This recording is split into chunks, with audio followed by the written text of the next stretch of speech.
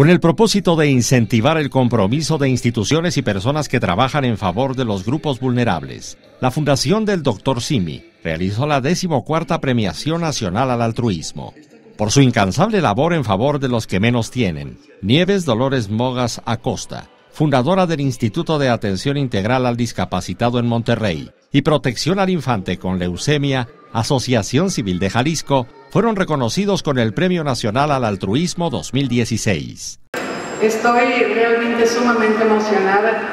Esto definitivamente da un impulso para continuar en el trabajo. A nombre de Protección al Infante con Leucemia, Asociación Civil de Jalisco, el doctor Ignacio Mariscal recibió el premio.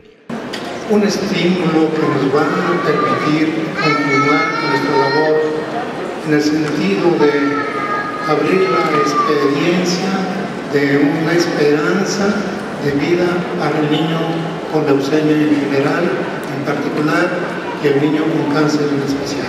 Con información de Araceli Rivera e imágenes de Enrique Romero, Notimex.